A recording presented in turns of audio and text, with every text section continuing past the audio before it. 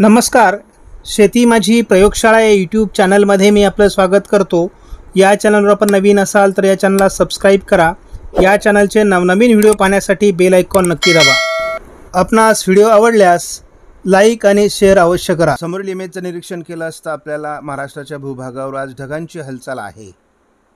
त्यामुळं पुढील चोवीस तासामध्ये पावसाचं काय प्रमाण आहे त्याचा आपल्याला आज अंदाज येईल. समोरील इमेजचं निरीक्षण केलं असतं आपल्याला भारतामध्ये. पूर्वेला उत्तरेला आणि थोड्या अंशांनी बंगालच्या उपसागरामध्ये. पावसाची परिस्थिती आहे.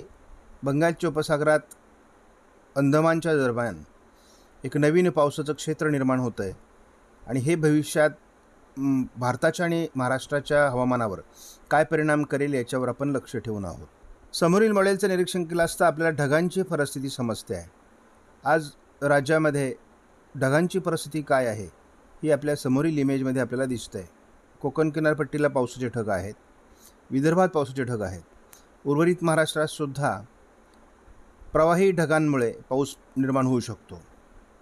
नैऋत्य मोसमी वाऱ्यांसंदर्भातील इमेज आपल्यासमोर आहे. फारसे नैऋत्य मोसमी वारे या ठिकाणी आता सक्रिय नाहीत. त्यामुळे पावसाचे प्रमाणही घटले आहे. आपल्याला या सॅटेलाईट इमेजमध्ये नाशिकच्या उत्तर आणि पश्चिम भागामध्ये पावसाचा जोर आहे. पुढील दोन तीन तासामध्ये.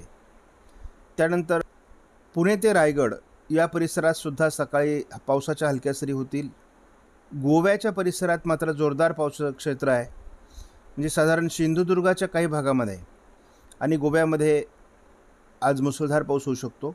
स समोरील इमेजमध्ये आपण बघितल्यानंतर आज पुढील दोन तीन तासामध्ये गडचिरोली जिल्ह्यामध्ये जोरदार पावसाचं क्षेत्र निर्माण होण्याची शक्यता आहे. आपण पाहू शकता की चाकण पुणे अहमदनगरच्या पश्चिमेकडील काही तालुक्यांमध्ये म्हणजे सिन्नर संगमनेर कोपरगाव श्रीरामपूर या भागातसुद्धा आज थोडा पाऊस सक्रिय होण्याची शक्यता आहे काही भागामध्ये.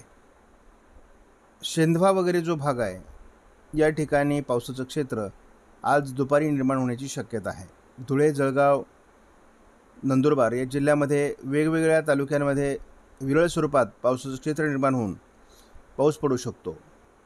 म्हणजे औरंगाबाद जिल्ह्यामध्ये सुद्धा आज गंगा गंगापूर पै पैठण या भागामध्ये आज औरंगाबाद जिल्ह्यात चांगला पाऊस पडण्याची शक्यता आहे. बार्शी करमाळा उस्मानाबाद कळम आंबेजोगाई केज धारूर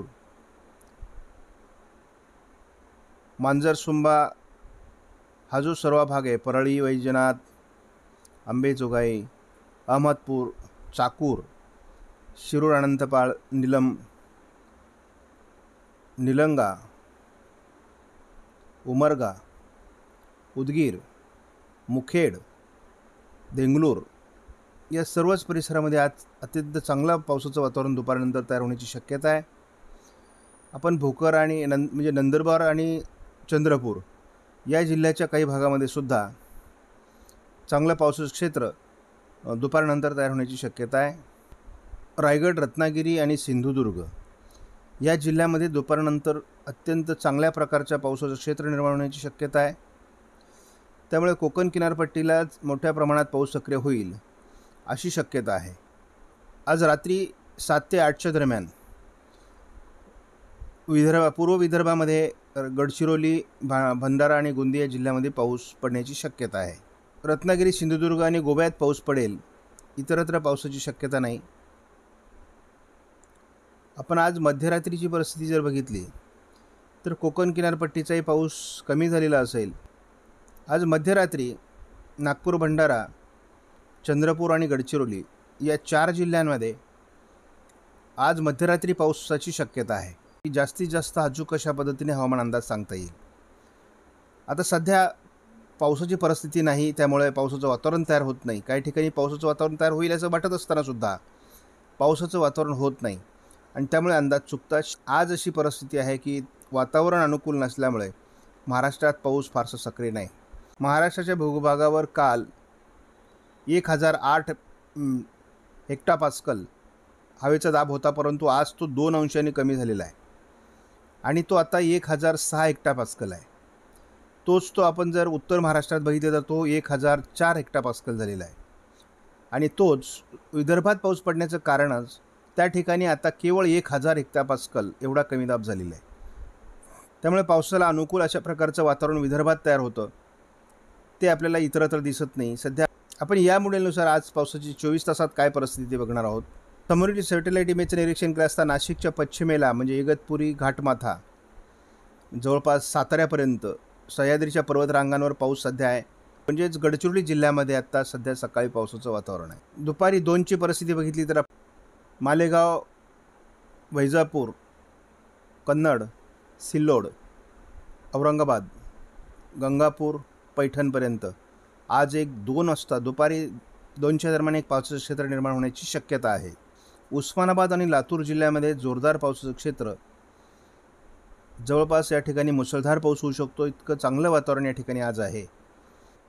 उदगीर बिदर मुखेड अहमदपूर देंगलूर या सर्व परिसरामध्ये अतिशय चांगला पाऊस आज होईल असं नांदेडच्या पूर्वेलासुद्धा याचा परिणाम होईल असं एक शक्यता आहे. आणि जवळपास पांढरकवडापर्यंत हा पाऊस पडणार आहे. त्याच वेळेस आपण चंद्रपूर जिल्ह्यामध्ये सुद्धा या पावसाचा प्रभाव असणार आहे. पंढरपूर आणि सोलापूरच्या दरम्यानसुद्धा एक पावसाचं क्षेत्र आपल्याला आज दुपारी निर्माण होण्याची शक्यता आहे. कोकण किनारपट्टीतला पाऊस कमजोर झालेला असून या ठिकाणी एक हजार सहा हेक्टापास्कल हवेचा दाब असल्यामुळे पावसात जोर नाही.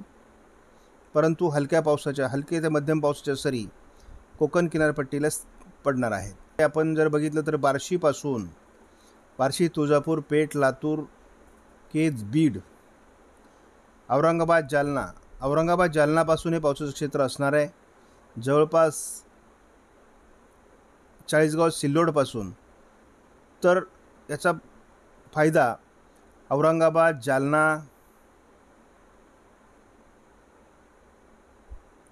आपण पाहू शकता औरंगाबाद जालना परिसरात बीड परिसरामध्ये लातूर परिसरामध्ये परभणीचा काही भाग नांदेडचा काही भाग त्यानंतर लातूर उस्मानाबाद सोलापूर या बऱ्याच जिल्ह्यांमध्ये जिथे पावसाचं प्रमाण अत्यंत कमी आहे ज्या ठिकाणी पावसाची अत्यंत आवश्यकता आहे अशा परिस्थितीमध्ये आपल्याला या ठिकाणी पाऊस होताना दिसतोय. शेतकऱ्यांसाठी अत्यंत आनंदाची अशी बातमी आज आपल्याला या ठिकाणी म्हणता येईल.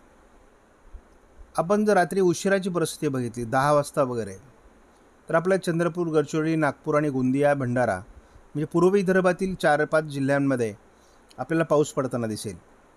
आपण जर बारकाईने निरीक्षण केलं तर आपल्याला कोकण किनारपट्टीचा सर्व भाग या ठिकाणी पाऊस नाही. आणि आपण जर बघितलं तर या ठिकाणी एक हजार दहा हेक्टापास्कल एवढा मोठा हवेचा दाब वाढलेला आहे. आणि त्यामुळे पावसाचं क्षेत्र या ठिकाणचं गायब झालं आहे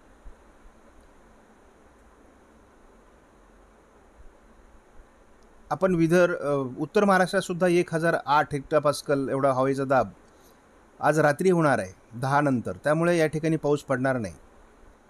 पूर्व विदर्भामध्ये आपण खास करून जर बघितलं तर इथे या ठिकाणी एक हजार सहा हेक्टापास्कल हवेचा दाब आहे आणि त्यामुळे या ठिकाणी वातावरण तयार होतं आहे.